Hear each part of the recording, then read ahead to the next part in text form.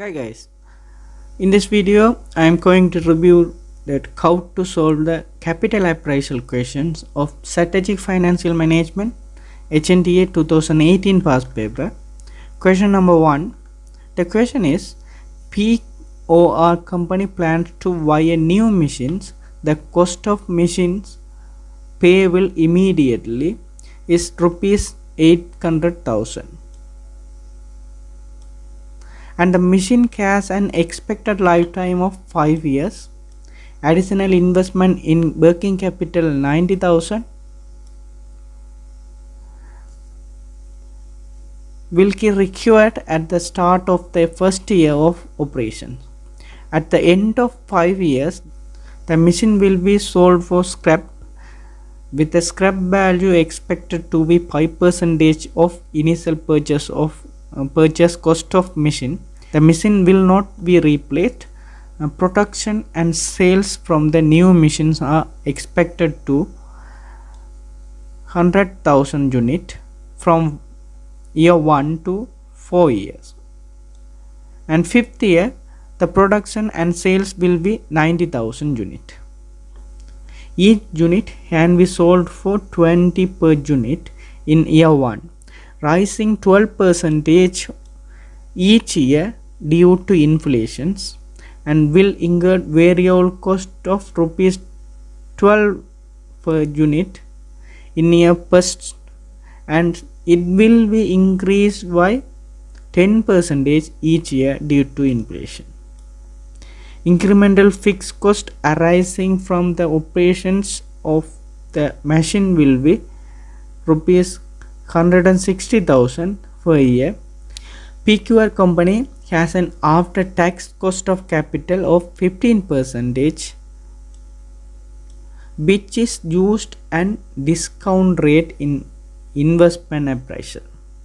The company pays profit tax one year in arrears at an annual rate of 30 percentage per year. The company can claim capital allowance 25 percentage per annum on the cost of machine. The first year allowance can claimed in the first year of production. Okay, you are required to calculate first calculate the net profit value NPV of investment in the new machine and advise whether investment is financially acceptable. So we can uh, point out the key point and uh, let's do the summary. First you need to calculate the sales price because uh, it will be arising by 12 percentage from first year uh, why uh, due to the inflation so you need to calculate the sales price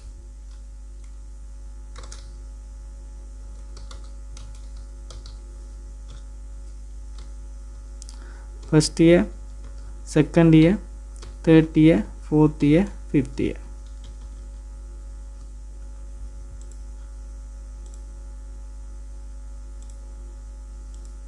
Okay. Sales price per unit. First year 20 rupees. It will be arise by 12 percentage for each year so it should be 20 per 20 into 1.12 percentage. So then track up to 5 years.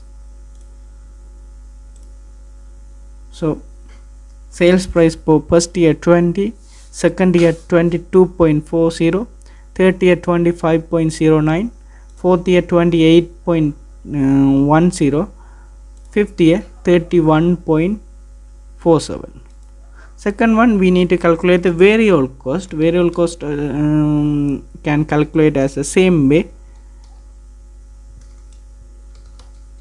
Variable cost. For first year the variable cost is 12 12 rupees per unit. 12 rupees. And it should be uh, increased by 10 percentage due to inflation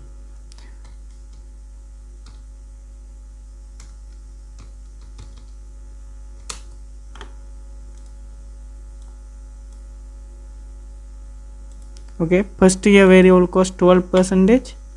Sorry 12 rupees. Second year 13.20 third year 14.52 fourth year 15.97 fifth year 17.57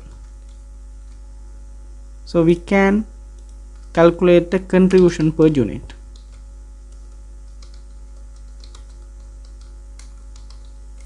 contribution per unit. Contribution meaning sales minus variable cost.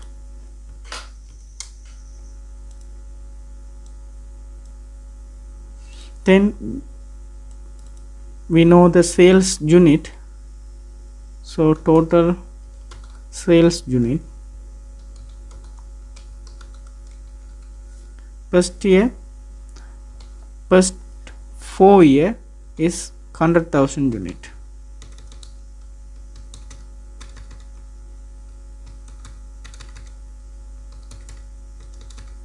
and fifth year 90,000 unit.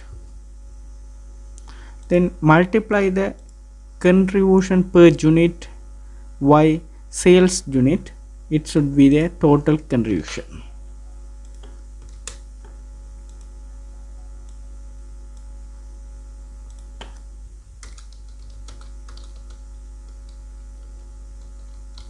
Total contributions.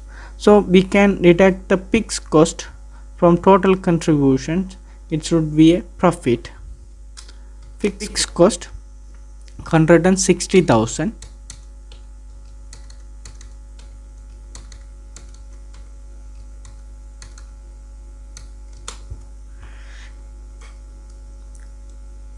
so profit contribution minus fixed cost. This is a cash flow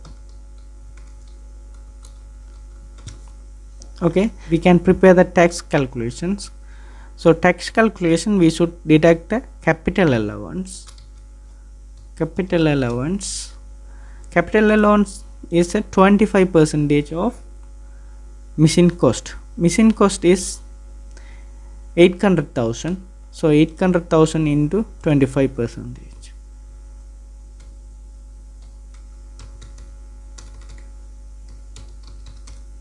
so it should be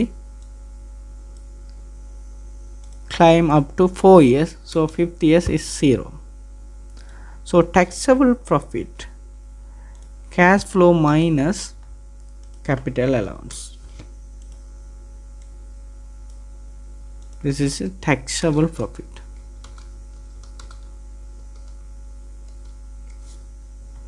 Okay. Then tax is 30 percentage. So tax uh, it will be paid one year arrears. So we can calculate the tax first is 30 percentage.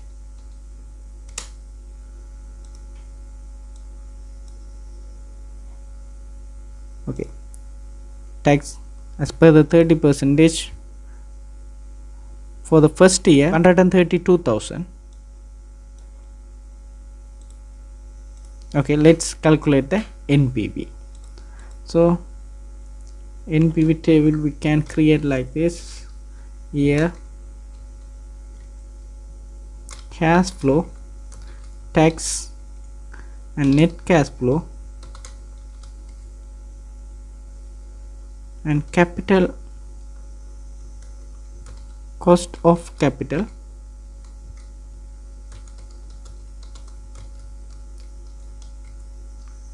and present value.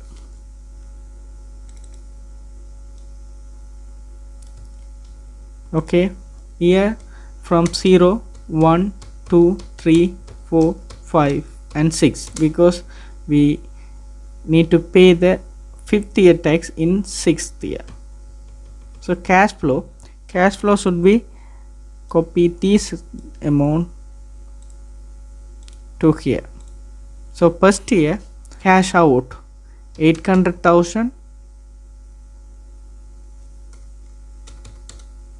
plus 90,000 because 90,000 is the working capital. So first year uh, cash flow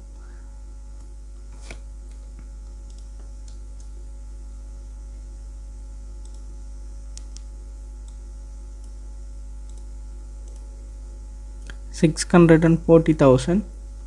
Second year third year fourth year fifth year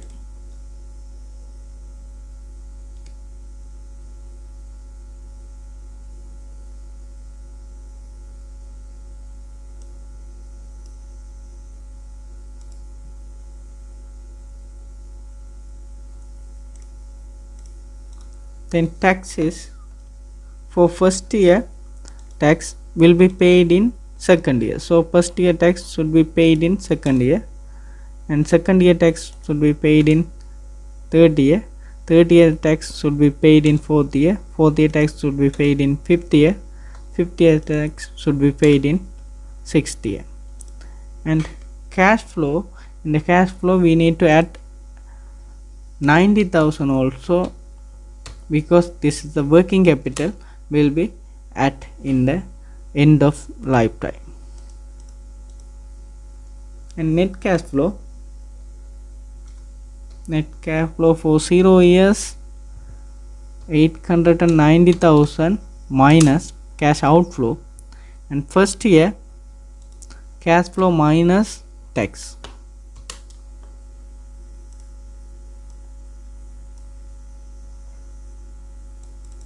so we calculated the net cash flow then cost of capital. Cost of capital is the percentage as per the question paper is 15 percentage. So 15 percentage as per the cost of capital 0 years should be 1 and they already gave the percentage for 15 percentage. First year 0.8696 0.8696 and second year 0.7561 0.7561 and third year 0.6575 0.6575 and fourth year 0.571 0.5718 0.5718 and fifth year 0.4972 0.4972 and sixth year 0.4323 okay you can multiply the net cash flow by cost of capital. It should be present value. So first year present value and sixth year present value should be minus because cash outflow and middle of the years should be plus because of the cash inflow. So total the present value then should be the net present value.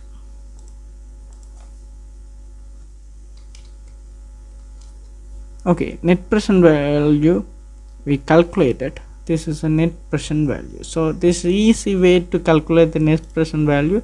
This is the answer for question number one. So this video very useful for H and HNDA students. Thank you